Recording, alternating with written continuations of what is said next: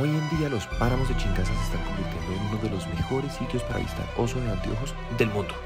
La mayoría de veces uno los ve muy lejos, pero con mucha suerte uno puede lograr tener un encuentro como este, donde el oso está mucho más cerca,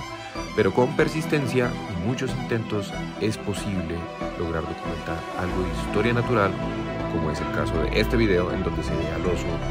en su camareta despertándose del árbol y bajando a tomar agua en el Parque Nacional Chingaza. Es muy importante recordar las reglas del protocolo de avistamiento para no ponernos en riesgo ni a nosotros ni al oso y poder retratarlo de una manera que él se comporte naturalmente.